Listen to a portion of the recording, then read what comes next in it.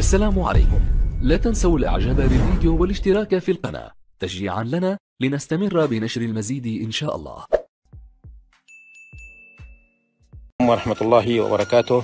يعطيكم ألف عافية متابعينا الكرام. آه، معكم المهندس ياسين.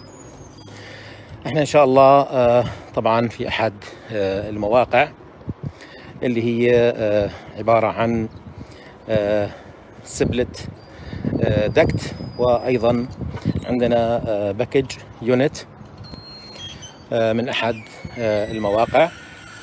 وراح نقوم بعملية التوريد والتركيب ورفع المكيفات بالنسبة لطبعا تكييف ال package unit طبعا بالنسبة للتأسيس بالنسبة لمكاين ال package unit. ماكينة ال package unit مثل ما إحنا بنعرف مثل ما شرحنا.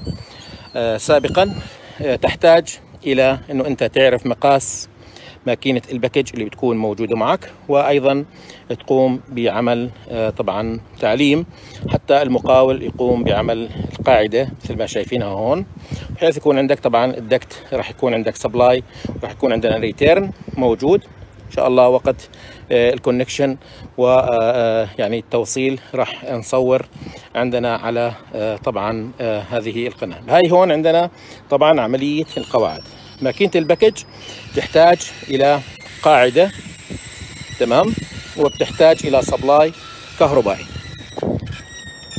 يعني أنا بده يكون عندي هون اللي هو القاعدة الموجوده بده يكون عندي supply كهربائي.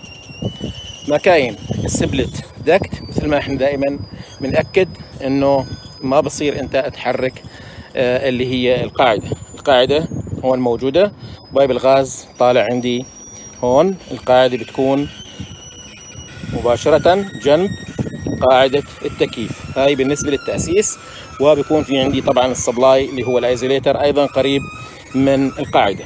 تمام؟